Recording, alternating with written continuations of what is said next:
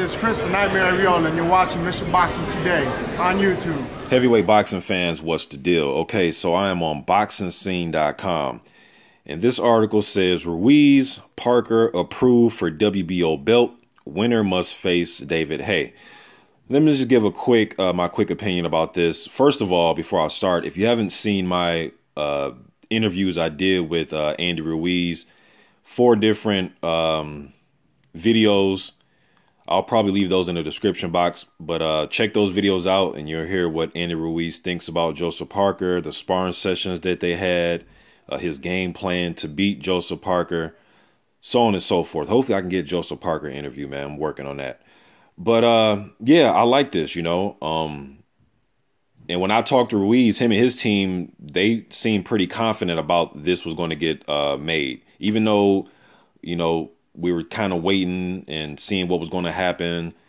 Uh, this fight is going to be made, so that's it's great news, man. This is great news. Um, now, as far as David Haye getting the winner, he is highly rated by all the damn sanctioning bodies, man. David Haye's a he's a smart, slippery dude, man. This this you know, it is what it is, man. You know, with his name recognition, and David Haye is a good fighter. I know a lot of people that get on him, they don't like him because of just various things. Him blaming his toe in the Klitschko fight, him pulling out of different fights, uh, the situation that just happened with Shannon Briggs, how he promised Shannon Briggs in front of all the damn media and fans in the Arnold Jai press conference that he would fight Shannon Briggs. Shannon Briggs just needed to pa pass a brain scan and fight on his uh, undercard when he fought Jai. He did that.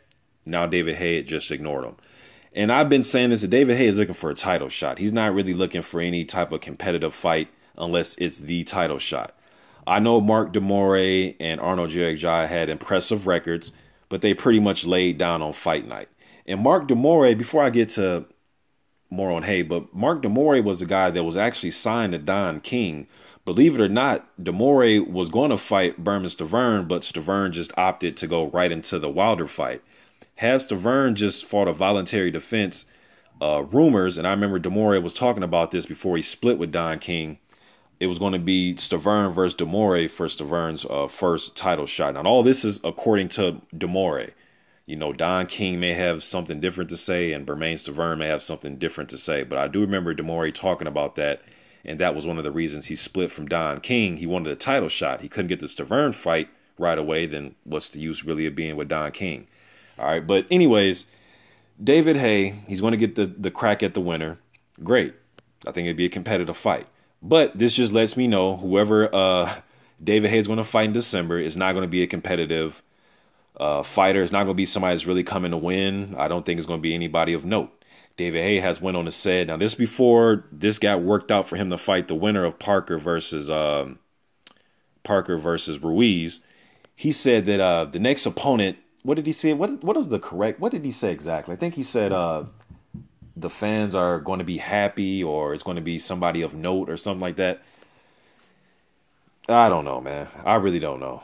Maybe they should make David Haye versus whoever he's going to fight. Maybe make it into a eliminator. You know, and I'm looking at the WBO rankings right now. Obviously, it's going to be Parker versus Ruiz. They're one and three. Parker being number one, Ruiz being rated number three. Klitschko's rated number two. So they'll have Parker versus uh, Ruiz, and then uh, David Haye is number four. My thing is, man, instead of just letting this dude, David Haye, just get a title shot, I know, I know for some of you huge David Haye fans, you're going to say, hey, he was a great, he was a really good cruiserweight. He beat uh, Nikolai Valuev, uh, a guy who I thought, I thought Valuev lost to Holyfield, but that's neither here nor there. But uh, yeah, he beat Valuev, blah, blah, blah. Okay, I get it. I get it but he just shouldn't be gifted a title shot to fight the winner. Now, some of you are going to argue, well, hell, because I've seen people in uh, other uploaders' comment section say, uh, well, what did Andy Ruiz do to get the title shot? Fair enough, but he's rated highly by the WBO. Him and Parker are the next two uh, highly rated guys because Klitschko seemed like he's going to take the WBA route and try to fight for that vacant title against Lucas Browne. That's the rumor, that's the word right now. Nothing concrete yet. So logically to the WBO, hey, the next two rated high guys are um, Parker versus Ruiz. Let's put those guys in the ring. All right.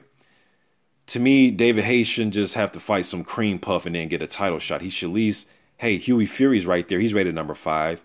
Michael Wallisch is rated number six. If that fight were to get made and it was an eliminator type of thing, he is the next rated highest guy besides Hughie Fury. Now, I know a lot of people say, who the hell is this German guy, Michael Wallisch? You know what I mean? But Jarrell Miller's rated number seven. Edmund Gerber's rated number eight. Tom Schwarz rated number nine.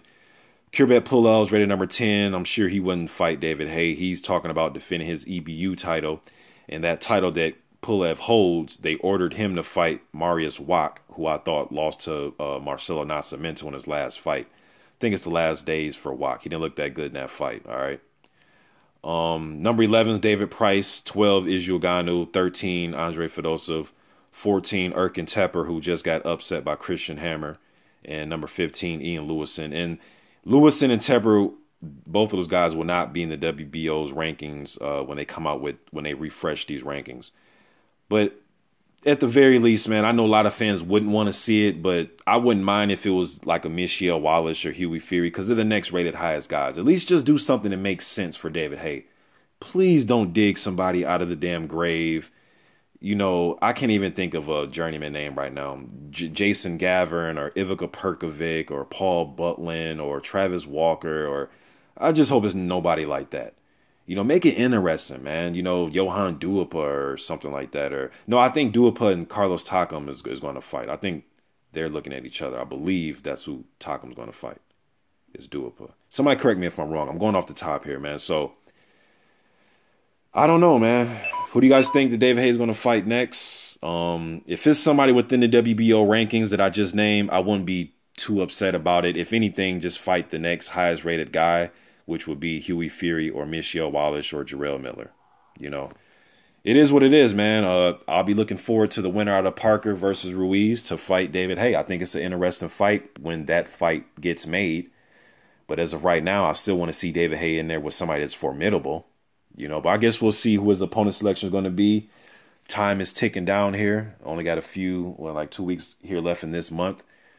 So uh, we'll see what happens, man. I'm out.